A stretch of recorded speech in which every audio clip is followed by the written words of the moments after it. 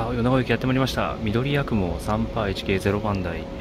本日の試運転を終えて無事に出てきたようです。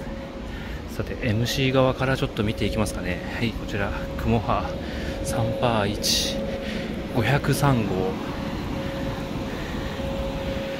行き先回送幕になってます。なんかね思ったよりも色がグレーというより当時よりもなんか白っぽく見えるのかなと思います。はいこちら JR マーク。裾についてますね。はいこちら3号車回送これが、えー、モハ38076号。はい。パンタグラフ付きですね。PS16 パンタグラフ外視も綺麗になってます。さあ続いてこちらモハ381えっ、ー、と228号。すみませんサハ381228号。これは元グリーン車。当時はこれグリーン車でしたけどゆったりゆったり役の改造でサハに変わってますね。なのでグリーンマークはもうないです。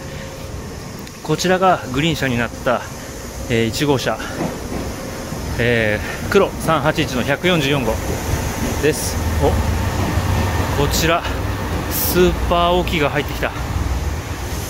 スーパーオキの向こうにはスーパー松風がいますね。多分乗り継ぎするんでしょうこれ。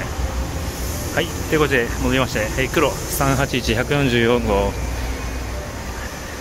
車体すごく綺麗になってますね。ちょっと塗装のムラが若干見られるけれどもまあまあこの辺もご愛嬌かなと思いますね。